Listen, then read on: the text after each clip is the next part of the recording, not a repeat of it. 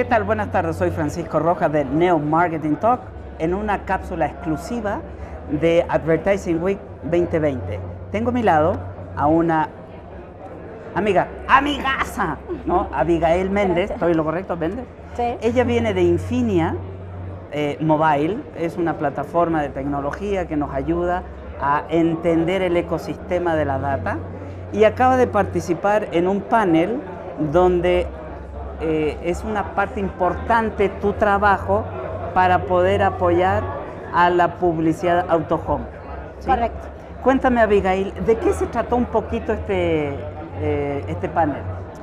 Em, el panel exploró el rol que tiene el Big Data en la parte de Out of Home. Cómo podemos aprovecharlo, cómo puede influir inclusive en, en las ciudades, no solamente en la parte de Home en formatos tradicionales, sino también en la parte de la digitalización.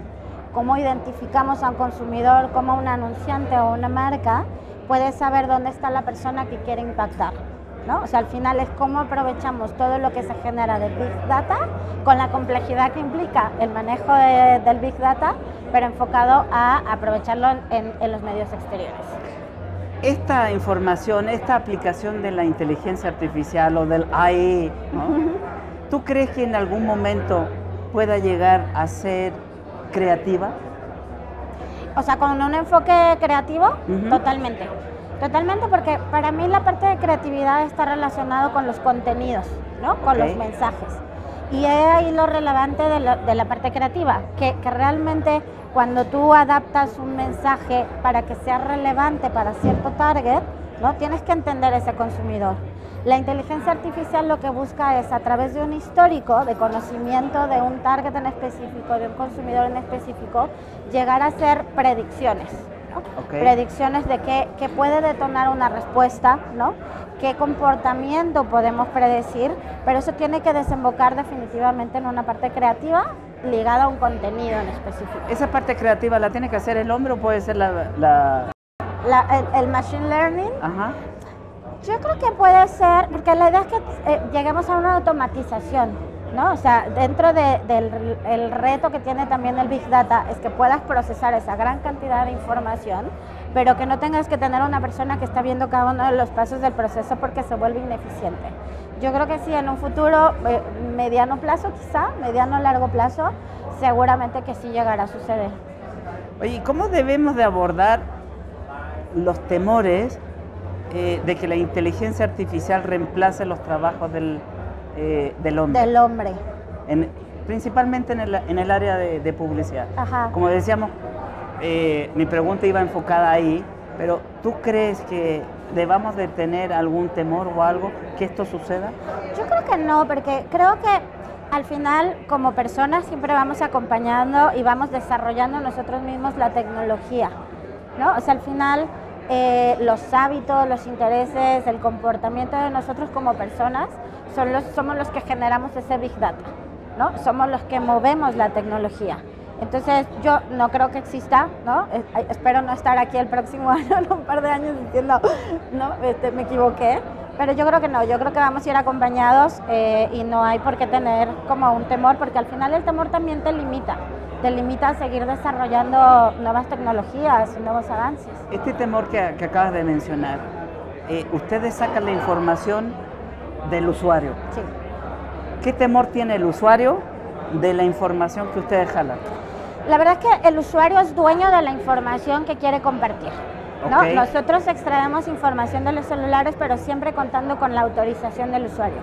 Eh, la autorización se hace una vez que el usuario descarga la aplicación donde nosotros tenemos el SDK, ellos autorizan al manejo de toda esa información y al final no usamos ningún dato personal.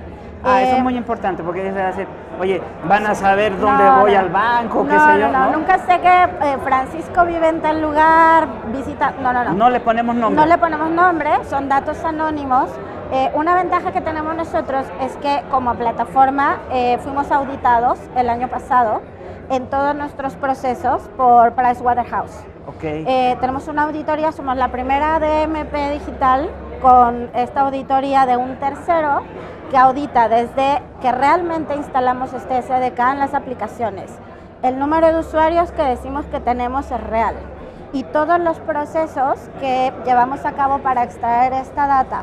Entonces tenemos una auditoría que, que da cierta transparencia ¿no? y que nos ayuda a transmitir esta confianza para los partners con los que trabajamos, de que todo el manejo de la información está dentro de las reglas del GDPR, porque al final trabajamos también en países donde el manejo de datos es súper delicado y eso para nosotros es súper relevante estar siempre alineados con... con Oye, Abigail, acabas de mencionar un DMP. Sí.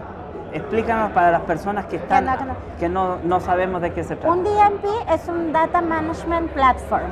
O sea, es una plataforma que nos permite gestionar, almacenar toda esta data y gestionar y después activar. Entonces, realmente nosotros somos una plataforma de gestión de datos, una DMP, pero que realmente desembocamos en una oferta de productos. O sea, si me preguntas a mí, nosotros somos un producto, ¿no? No somos meramente una plataforma, activamos la data a través de una plataforma, pero somos un producto, ¿no? Al final es una oferta de cómo aprovechamos esa audiencia y toda la data que podemos generar de todos estos millones de usuarios con los que contamos para eh, un fin que puede ser a nivel publicitario, eh, inclusive a nivel de temas de salud, o sea, la data se puede aprovechar para saber también eh, programas de salud, programas de, de educación, o sea, tiene una infinidad de posibilidades para explotarla. Oye, Abigail, muchísimas gracias por dedicarnos estos cinco minutos y decirnos más o menos de qué se trató tu plática y de Infinia de los servicios que dan, ¿no? Te agradezco mucho. Al contrario, muchas gracias. Un placer. Hasta la próxima.